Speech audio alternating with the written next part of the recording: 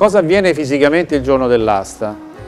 Il delegato alla vendita, sia esso l'avvocato o il dottore commercialista o il notaio, aprono alla presenza di tutti i partecipanti le buste che sono state veicolate il giorno prima entro l'orario determinato nell'avviso di vendita. All'apertura delle buste si eh, prenderà eh, l'offerta che avrà eh, all'interno l'importo maggiore che costituirà il nuovo prezzo base da cui si partirà per la gara tra, gli, tra i partecipanti. Questo importo chiaramente più alto eh, sarà comunque incrementato eh, di quel rilancio minimo che è indicato nell'avviso d'asta.